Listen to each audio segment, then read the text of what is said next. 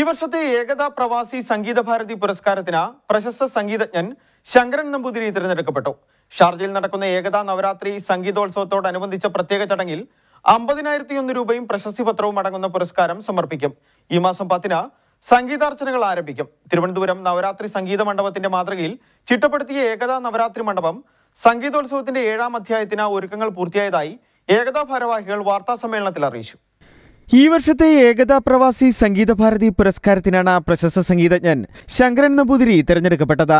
ഷാർജയിൽ നടക്കുന്ന ഏകതാ നവരാത്രി സംഗീതോത്സവത്തിനോടനുബന്ധിച്ച പ്രത്യേക പരിപാടിയിൽ അമ്പതിനായിരത്തിയൊന്ന് രൂപയും പ്രശസ്തി പത്രവും അടങ്ങുന്ന പുരസ്കാരം അദ്ദേഹത്തിന് സമർപ്പിക്കും.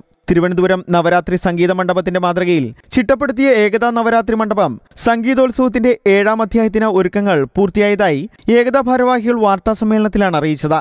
ഈ മാസം പത്തിന് നവരാത്രി ആഘോഷങ്ങൾ ആരംഭിക്കും. വിജയദശമി നാളിൽ പ്രമുഖ ആചാര്യന്മാരുടെ കീഴിൽ വിദ്യാരംഭവും ഒരുക്കിയിട്ടുണ്ട്.